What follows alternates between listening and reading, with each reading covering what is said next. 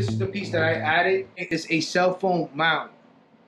All right, it's not revolutionary or anything, but it's a piece that I've replaced probably now for the third time. And I went with this model just because it's a better material. It's like a metal. I'm using it on the tripod. I dropped the tripod and it was plastic, so it broke. Uh, this one is constructed well. Actually has better features than what I was using prior anyway.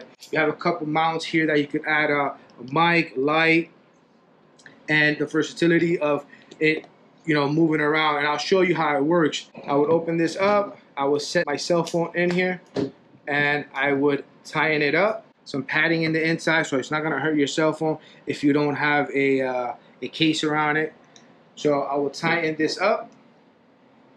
Back here, you can lock your cell phone in place.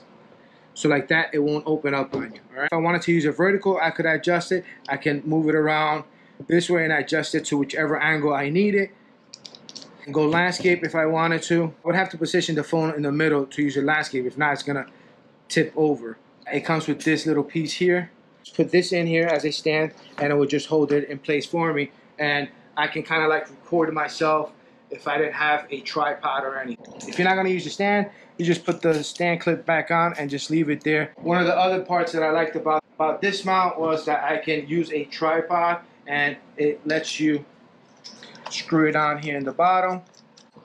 And if I wanted then to use it like that, I could. Not all mounts have that uh, screwing option. Some you have to clip. You have three more positions here in the bottom and I can screw it there if I needed to use it like that. So I use this other small tripod. It's from Ulanzi.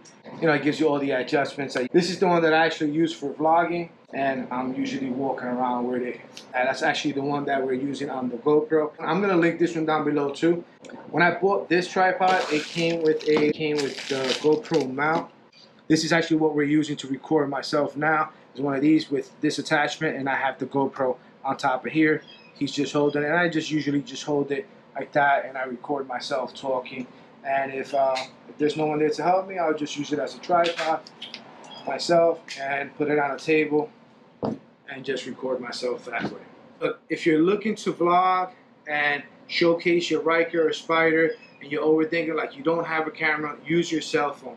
Just with these little three accessories, you you have a whole like creator kit in itself. Important part is the cell phone. If you didn't have the option for any of the accessories, you can record landscape or vertical for Instagram just with your cell phone. Don't hold yourself back from creating memories online and you could always then go back and take a look at. All right, one more thing that I liked about this cell phone mount is the fact that I really just needed to record something. I had no one at home or with me to help me record. I can take this mount and I can use an actual tripod, set it, because it has the grooves there for it, and I'd be able to adjust it. This tripod um, goes up to I think six feet, so I can extend the legs and I can pretty much or record on my own.